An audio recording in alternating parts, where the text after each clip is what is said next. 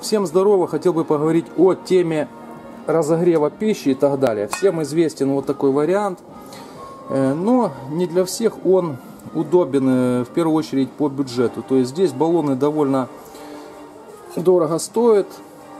Вот, ну, наверное, это единственный минус вот данной конструкции. Э, поэтому я долгое время вообще как бы интересовался этой темой. Вот, ну, по этим горелкам понятно. Кто выбирает, сразу говорю, есть два типа с пьезоэлементом и без, то есть самостоятельное зажигание. Отличаются они диаметром рассекателя вот этого. Вот. Ну и все. Бывают еще э, варианты там, где баллон подальше устанавливается на такой трубочке, я забыл как называется, прикручивается. Так, ну и баллоны разные бывают разного объема. Вот. Самый простой и бич вариант это вот такой здоровый баллон. У меня такой есть. Ну, естественно, 5 литров, вот 5, по-моему, они идут объемом. Взять с собой это будет слишком. Мотоцикл точно такой не всунешь, машину еще можно, ну а за пешие походы, конечно, и говорить не стоит.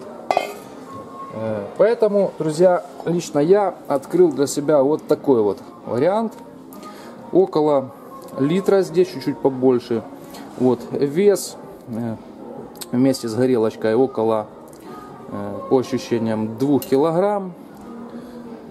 Получается, если бачок будет полный, то есть где-то будет около 3 килограмм.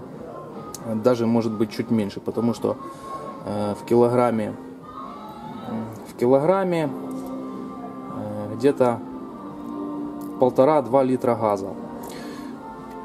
Это учитывайте. Вот такие у нас варианты получаются. Раз, два и три. Э, также есть бензиновые на жидком топливе какие-то варианты. Вот. Ну, пока мы о газе говорим.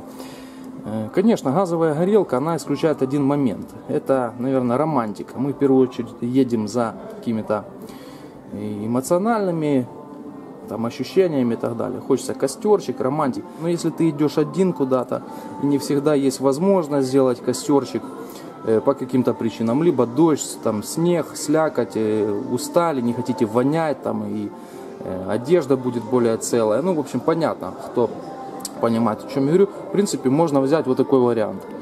Э, в данном случае вот довольно качественная горелочка на жидком топливе. Ну, также сюда внутрь можно открутить и э, в полость, куда заливается жидкое горючее, э, можно положить твердое горючее. Это у нас будет такие таблеточки, кто знаком.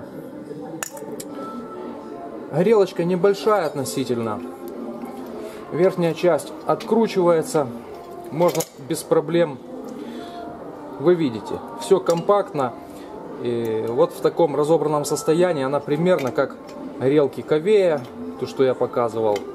Вот. Ну а по баллонам здесь более все экономно. То есть заправили на заправочке, там 1 литр сколько там стоит, 12 гривен. Вот здесь 1,2. Э, ну, то есть вам заправлять литр и 200 грамм остается на случай, ну, мало ли, нагреется газ и так далее.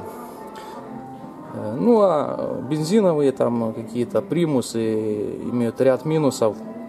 То есть там, соответственно, испарения вонючие какие-то в палатке, они коптят, за ними нужен уход, надо чистить рассекатели. Газ в этом смысле более он практичный и ну, экологичный, что ли. Вот такие дела. Все, друзья. Всем пока. Подписываемся на канал. Всем удачи.